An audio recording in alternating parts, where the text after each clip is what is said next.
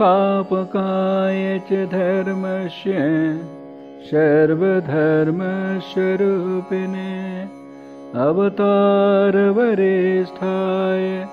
रामकृष्णाय ते नमः। जननीं शारदां देवीं रामकृष्णं जगद्गुरुं पादपद्मे तयो सेत्वा प्रणमामि मुहुर्मुहुः नमः श्रेयतिराजाय विवेकानन्दशूरये सच्चित्सुखस्वरूपाय स्वामिने तापहारिणे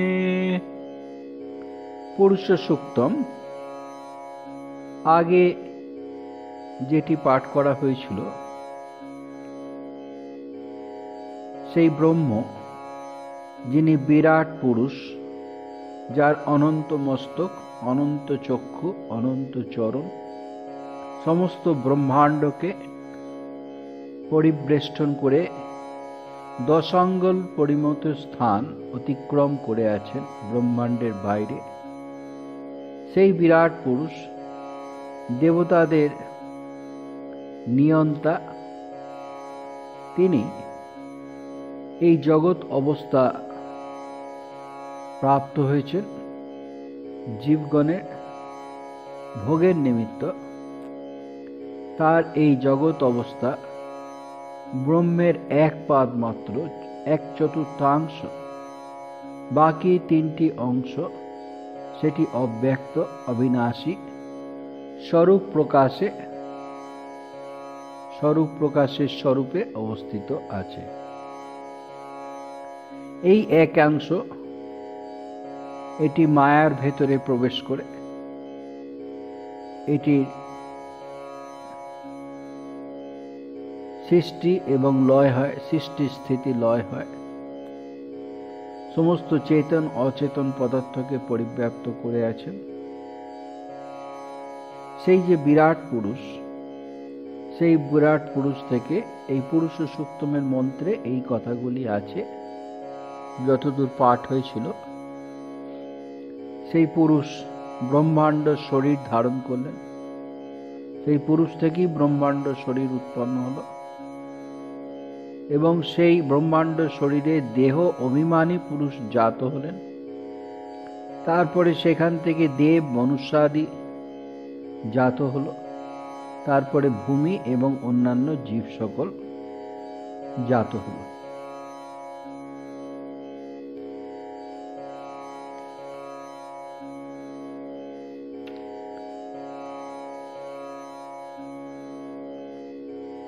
যে দেবগণ জাত হয়েছিলেন, সেই বিরাট পুরুষ থেকে তারা যজ্ঞ করার মানুষ যজ্ঞ, মানসিকভাবে মানুষ যজ্ঞ করার প্রস্তুতি করলেন। যজ্ঞে যে হবি দরকার, ঘৃত এবং কাষ্ঠ আর এছাড়া পুরো পুরো ডাসা, সেইগুলি যজ্ঞে দরকার হয়। পুরো ডাসা আদি। কিন্তু তখন সখন সৃষ্টি হয়েছে। তাই সেগুলি কল্পনা করে যেমন আমরা মানস পূজা করি, সেমনি মানস যজ্ঞ তারা করলেন সেই পর্যন্ত আমরা আগে পাঠ করেছিলাম তো ছ নম্বর শ্লোকটি আবার একবার করা হবে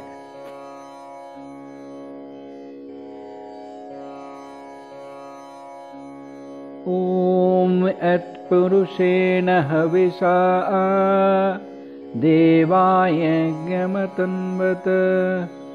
वसन्तो वशासेदाज्यम् ग्रीष्म एद्म शरध्वभिः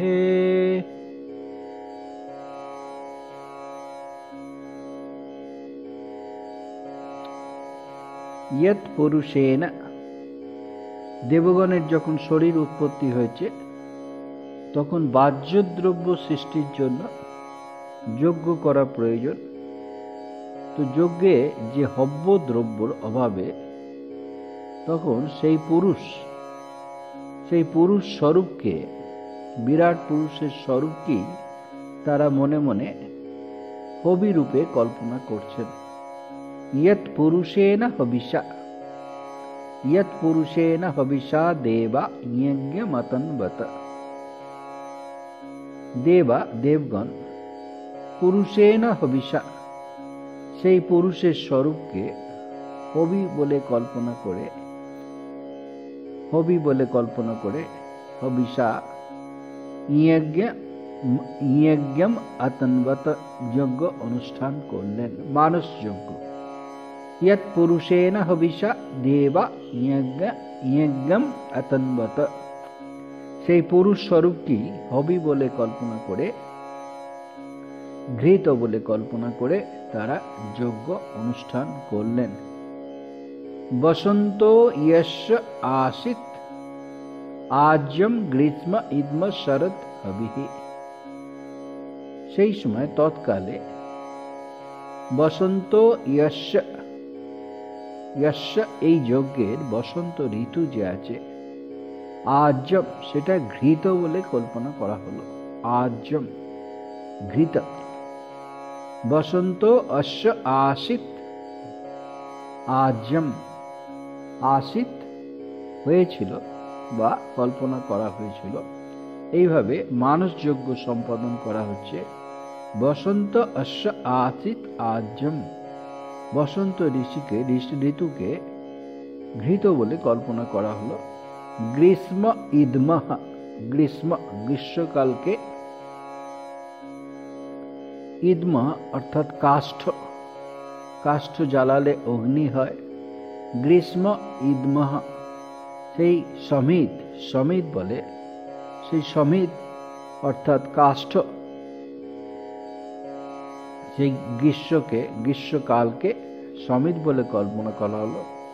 শরৎ হবিহি এবং শরৎকে হবিহি হবিহি এখানে পুরো ডাসাদি হবিহি, পুরো ডাসাদি হবিহি, পুরো ডাসা পিঠের মতো সেই জিনিস দিয়ে যজ্ঞে দেয়। তো পুরোটা আসাদি হবিহি শরৎকে সেই হবি বলে আশির কল্পনা করা হলো। এইভাবে মানুষ যজ্ঞ সম্পাদন হচ্ছে। কেননা জগতের জন্য যা যা দ্রব্য দরকার সেইগুলি উৎপাদন হবে। সের পরের শ্লোকে সেগুলি এক এক করে আলোচনা হচ্ছে।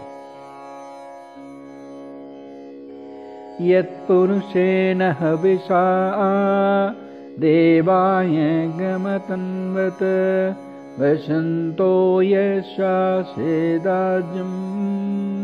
গ্রীষ্ম এদম শরধবে বেদ পাঠ সুর করে পাঠ হয় সেই যেরকম চিহ্নগুলি দেয়া আছে সেইভাবে সুরের ওঠানামা করছে यत्पुरुषेण हविषा देवाय गमतन्वत वसन्तो यशासीदाजम्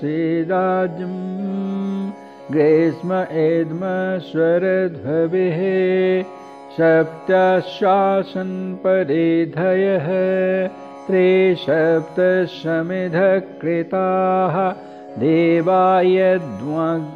तन्वानाः अवनन् पुरुषं पशुम् तं यज्ञं बर्हिषे पक्षन् पुरुषं जातमग्रतः।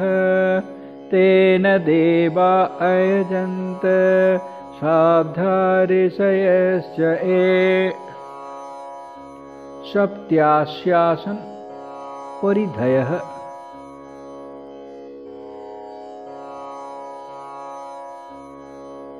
सप्त्यासन सप्त अश्य आसन परिधय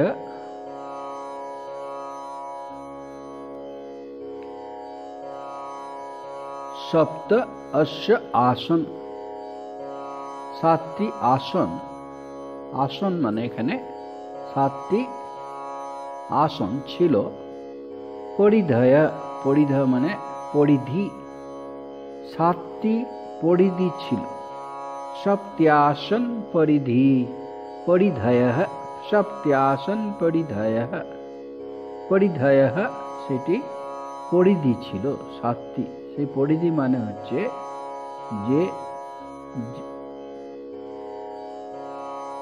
যে একটি বেষ্টন তিনটি ত্রিভুজ আকারের কাঠ থাকে সেটি উত্তরে দক্ষিণে এবং পশ্চিমে এই তিনখানি কাঠ রেখে একটা পরিধি করা হয়। একটা পরিধি করা তিনটি, তিনখানি কাষ্ঠ দ্বারা বেষ্টন করে রাখতে হয় এবং তারপরে সেই জায়গাটিকে বলে পরিধি।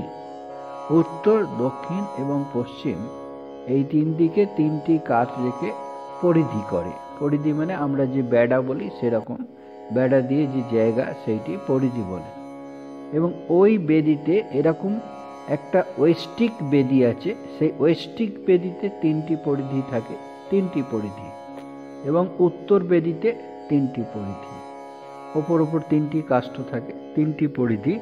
ওয়েস্টিক বেদিতে তিনটি পরিধি, উত্তর বেদিতে তিনটি পরিধি, ছটা হলো, এবং পূর্ব দিকে যে থাকে, পূর্ব দিকে পূর্ব দিকে যেটি থাকে, সেটি হচ্ছে পরিধির প্রতিনিধি স্বরূপ সূর্য সপ্তস্থানীয়। সূর্য সূর্য যে আছে সেটিকে সপ্তস্থানীয় বলা হচ্ছে। এইভাবে তিনটি তিনটি ছটা এবং সূর্য একটি, অর্থাৎ আদিত্য আদিত্য সহিত সপ্ত পরিধি, এই সপ্ত ছন্দ স্বরূপ। এই ছন্দ মানে গায়ত্রী ছন্দ, গায়ত্রী আদি ছন্দ।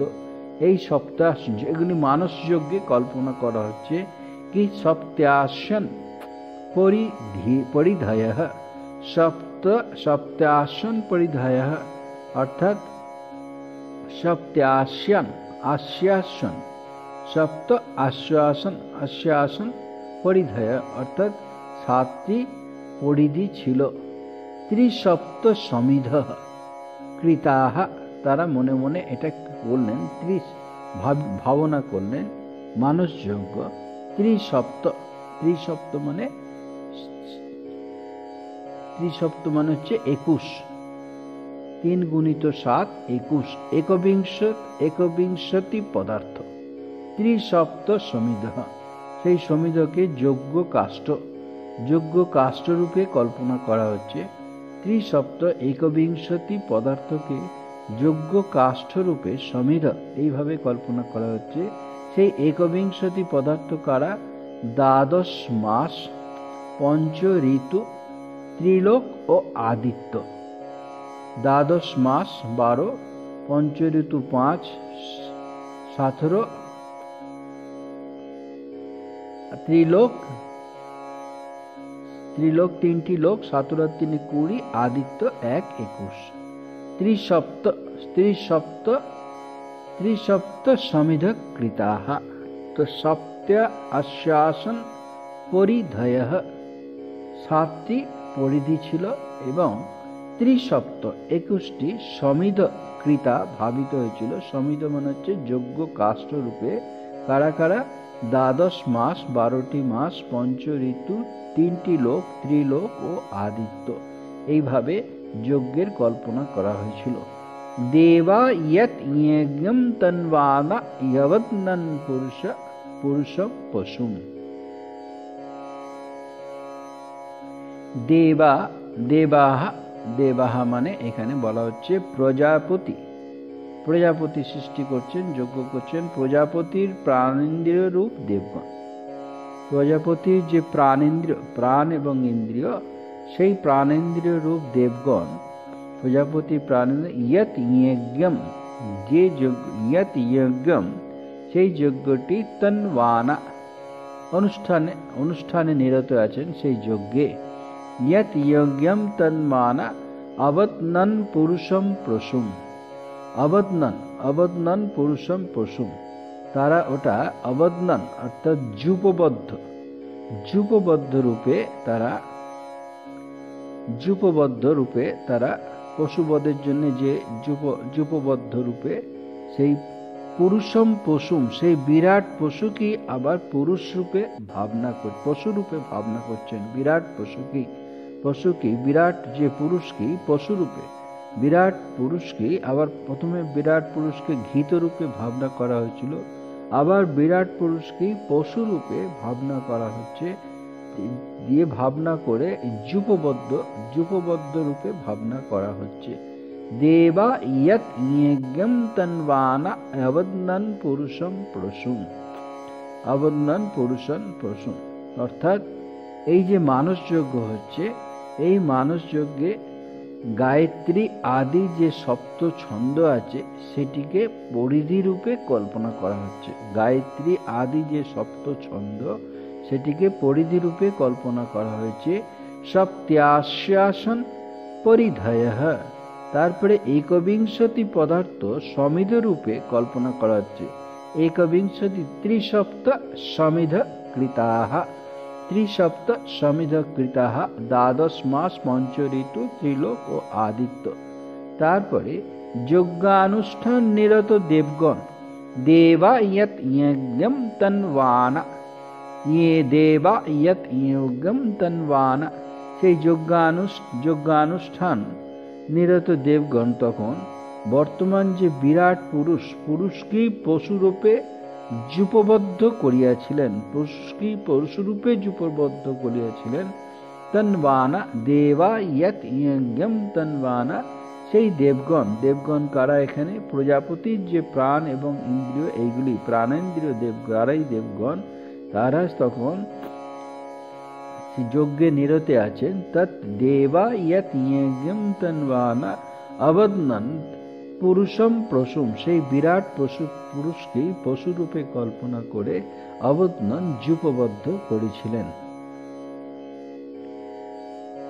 यत्पुरुषेण हविषा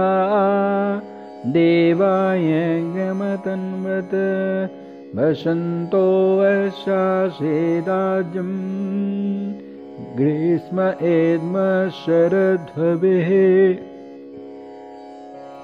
सप्त्यशासनपरिधयः सप्त्यशासनपरिधयः त्रिसप्तशमिधकृताः त्रिसप्तशमिधकृताः देवाय द्वगं तन्वानाः देवाय द्वगं तन्वानाः अवग्नन् पुरुषं पशुम् अवग्नन् पुरुषं पशुम् এই পর্যন্ত তম যজ্ঞম বর্হিষে প্রক্ষণ पुरुषं जातमग्रतः तेन देवा अयजन्त साध्यारिषयश्च ए तं यज्ञं बर्हिषि प्रोक्षन् पुरुषं जातम् अग्रतः तेन देवा अयजन्त स्वाध ऋषयश्च ये তম যজ্ঞম সেই যজ্ঞ সেই যজ্ঞের যে সাধনভূত যেটি পুরুষ তম যজ্ঞম বর্হিষি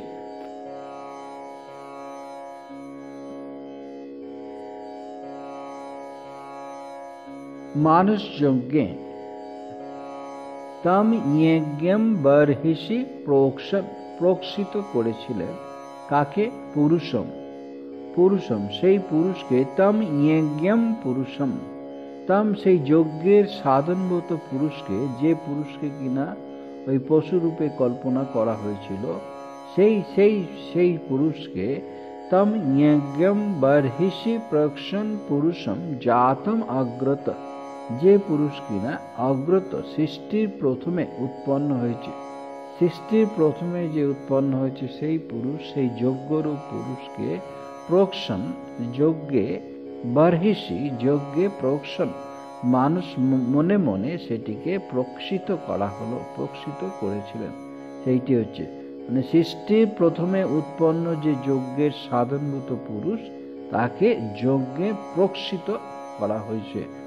তম যজ্ঞম বর্হিষি প্রক্ষণ পুরুষম জাতম অগ্রত জাতম অগ্রত একদম প্রথমে যে উৎপন্ন হয়েছে যজ্ঞম পুরুষম সেই যজ্ঞ পুরুষকে বর্হিষি যজ্ঞে প্রক্ষণ প্রক্ষণ করা হলো তেন দেবা তার দ্বারা তেন সেই পুরুষ রূপ পশু দ্বারা তেন তেন পুরুষ রূপ পশু দ্বারা তেন দেবা দেবগণ यजयन्त अजयन्त तेन देव यजयন্ত यजयন্ত অর্থাৎ যাগ নিষ্পাদন করেছিলেন সাধ্য ঋষয়শ্চ এ সাধ্য সাধ্য এবং সাথে কারা ছিলেন দেবগণের সাথে সাধ্য ঋষয়শ্চ ইয়ে অর্থাৎ সাধ্যা সৃষ্টি সাধনের সমর্থ প্রজাপতি প্রভৃতি সৃষ্টি সাধনের সমর্থ প্রজাপতি প্রভৃতি ইয়ে ঋষয় এবং সেই তদনুকূল যারা মন্ত্র দ্রষ্টা ঋষি, তাদের তারা সকলে মিলে এই যজ্ঞটি সম্পাদন করেছিলেন। সৃষ্টির প্রথমে উৎপন্ন সেই যজ্ঞের সাধনভূত পুরুষকে মানস রূপে যজ্ঞে প্রক্ষিত করেছিলেন। সেই তম যজ্ঞম বর্হিষি প্রোক্ষণ পুরুষম জাতম অগ্রত। জাতম অগ্রত পূর্বে জাত যেটি সৃষ্টির প্রথমে তম যজ্ঞম পুরুষম, সেই যোগ্য পুরুষকে বর্হিষি যজ্ঞে প্রোক্ষণ প্রক্ষিত করা হয়েছিল। তেন সেই যজ্ঞে সেই পুরুষের দ্বারা, পুরুষ রূপ পশু দ্বারা, যে পুরুষ বিরাট পুরুষকে পশু রূপে কল্পনা করা হচ্ছে, পুরোপুরি মানস যজ্ঞ সেই মানস যজ্ঞে প্রথমে ঘি, ঘৃত রূপে কল্পনা করা হয়েছে, তারপরে সমিদ কল্পনা করা হচ্ছে, সবই কল্পনা করা হচ্ছে। সেই সেই কল্পনার মাধ্যমে এটি এইভাবেই উপাসনা করা হচ্ছে। সৃষ্টির প্রথমে যে সেই রূপ তম দেবা, তেন দেবা, তেনা, সেই পুরুষ রূপ পশু দ্বারা দেবা, দেবগণ দেবগণ দেবগণ সহ কারা আছে? সাধ্যা, ঋষয়শ্চ, প্রজাপতি এবং ঋষিগণ এবং দেবগণ, এরা সকলে মিলে ইয়াজয়ন্ত অর্থাৎ যাগ নিষ্পাদন করেছিলেন, তা নিষ্পাদন করেছিলেন। तं यज्ञं बर्हिषे प्रक्षन् पुरुषं जातमग्रतः। तेन देवा अयजन्त साध्यारिषयश्च ए साध्यारिषयश्च ए। एपरि तस्माद्वागात् सर्वभूतः सम्भृतं पिषदाज्यम् वशुक्स्त्वाक्श्चक्रे वायव्यान् तस्माद्वगात् सर्वहुतः सम्भृतं पृषदाज्यं वशुस्ताक्श्चक्रे वायव्यान् आरण्यान् ग्राम्यांश्च ये। तस्मात् यज्ञात् সেই যজ্ঞ হতে।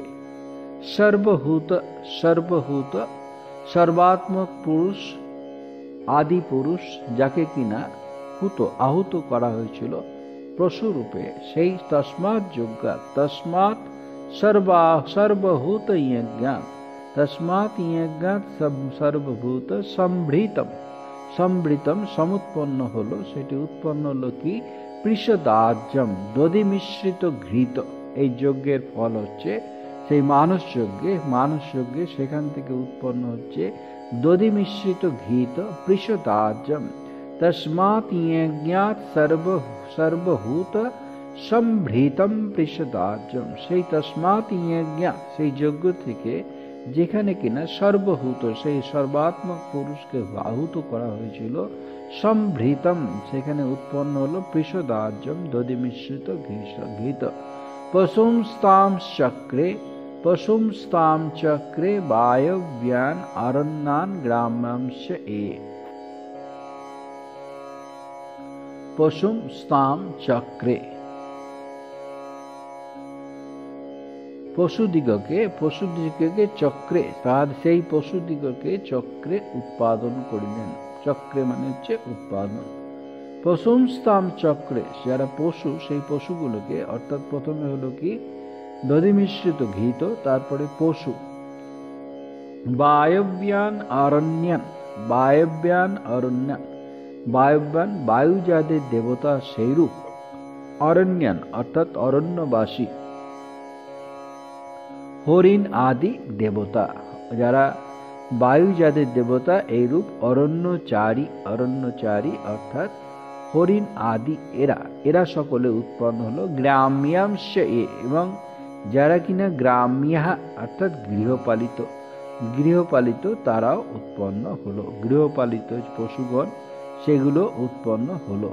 তাহলে এই সর্বাত্মক পুরুষ যাতে আহত হয়েছিল সেখান থেকে দধি মিশ্রিত আর্য সম্পন্ন হলো। বায়ু যাদের দেবতা এইরূপ অরণ্যচারী, অর্থাৎ হরিণাদি এবং গৃহপালিত পশুগণ, এই যজ্ঞ থেকে উৎপন্ন হলো। তসমাৎ ইয়জ্ঞাত সর্বভূত সম্ভৃতম পৃষদাজ্যম সেই যজ্ঞ থেকে যে যজ্ঞকে যে যজ্ঞতে বিরাট পুরুষকে আহুত দেওয়া হয়েছিল, সেখান থেকে দধি মিশ্রিত, ঘৃত উৎপন্ন হলো। পশুমস্তাম চক্রে পশুমস্তম সেখানে সেই পশুগুলি সেখান থেকে উৎপন্ন হলো।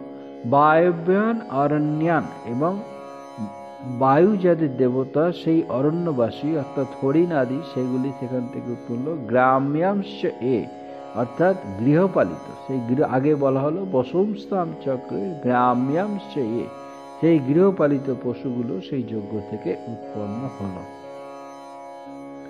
तं यज्ञं बर्हिषे पक्षन् पुरुषं जातमग्रतः।